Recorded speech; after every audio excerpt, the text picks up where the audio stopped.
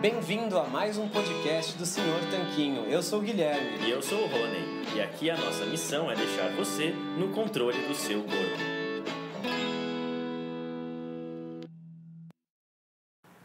Olá, Tanquinho. Olá, Tanquinha. Bem-vindos a mais um episódio do nosso podcast.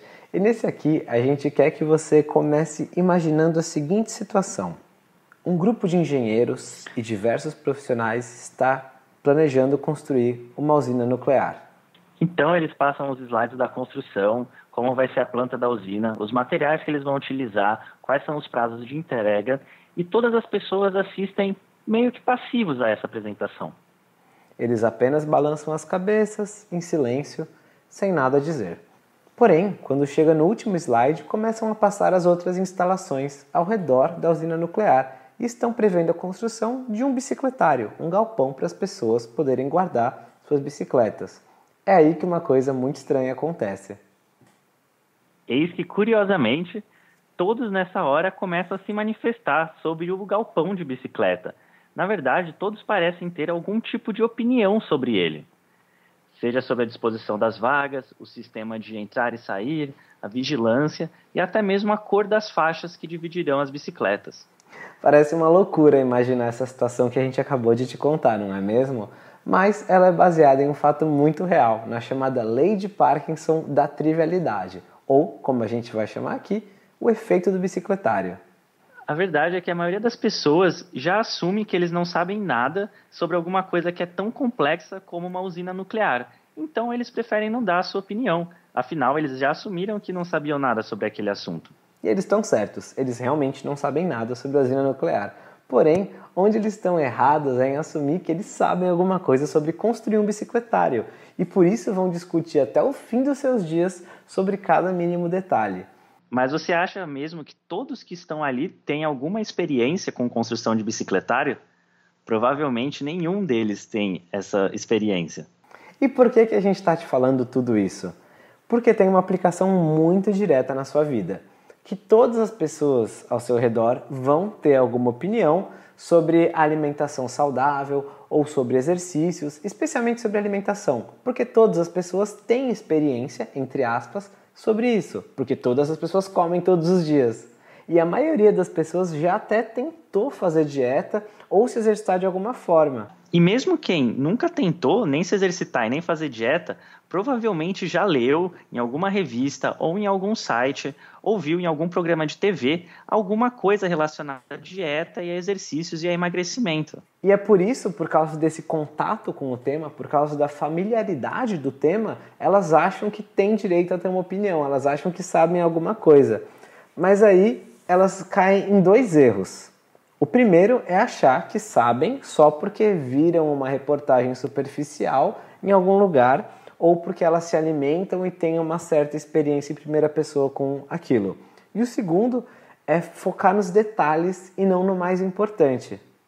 Então são dois erros. O primeiro é achar que sabem sobre o assunto e o segundo é que quando discutem, discutem o que é trivial e não o importante. Vamos expandir um pouquinho em cada um desses erros. O primeiro é que provavelmente elas não sabem nada sobre a questão de dieta e alimentação e emagrecimento de uma forma geral.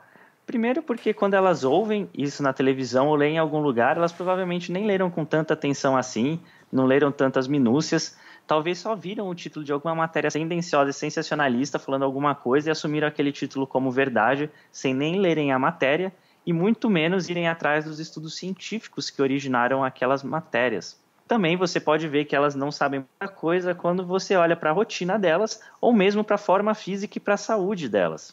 Exatamente. E no segundo ponto é que todo mundo quer dar pitaco, quer dar palpite nos pontos sutis, nos detalhes, nas minúcias. Isso é análogo à história da construção da usina nuclear. Ninguém tinha nada para falar da parte mais importante, que eram os reatores e a exaustão e a geração de energia, e todo mundo tinha alguma coisa para falar no menos importante, que é o bicicletário. Isso acontece com qualquer tipo de alimentação, e mesmo quem está na low carb, ou paleo, ou cetogênica, acaba caindo nesse erro também. A gente muitas vezes quer discutir quanta proteína pode comer, se é melhor 2 gramas por quilo ou 2,5 a gente quer discutir se é melhor comer o morango orgânico ou se é melhor comer o pimentão e qual tem menos agrotóxico.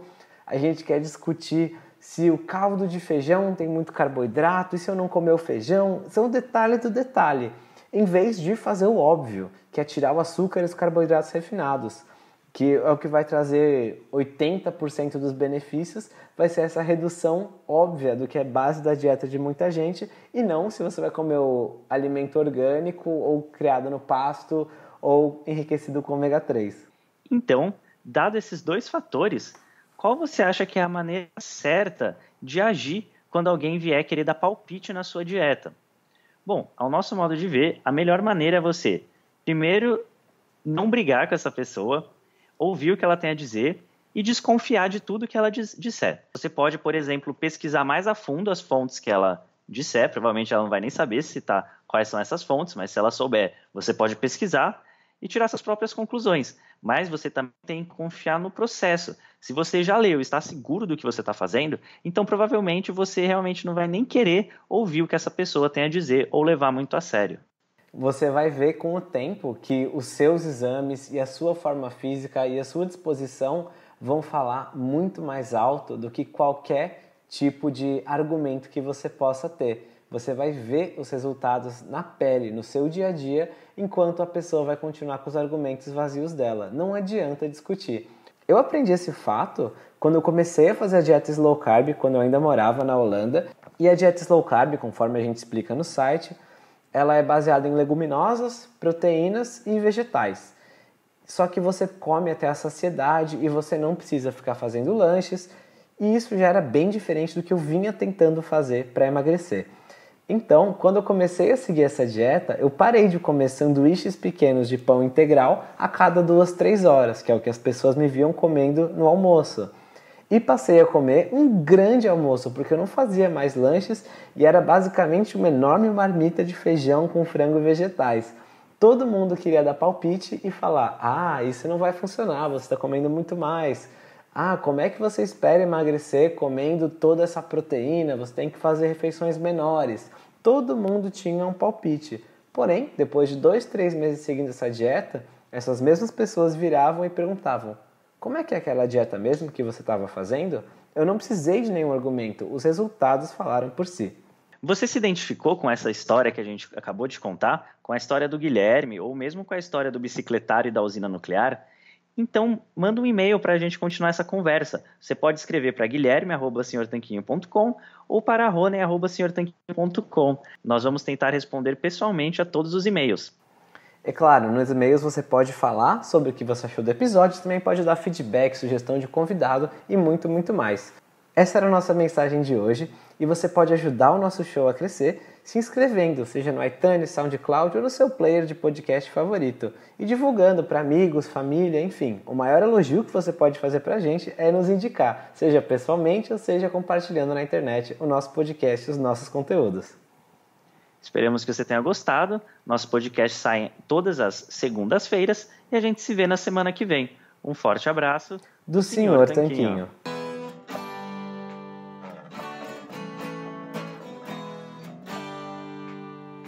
Você acabou de ouvir mais um episódio do podcast do Senhor Tanquinho.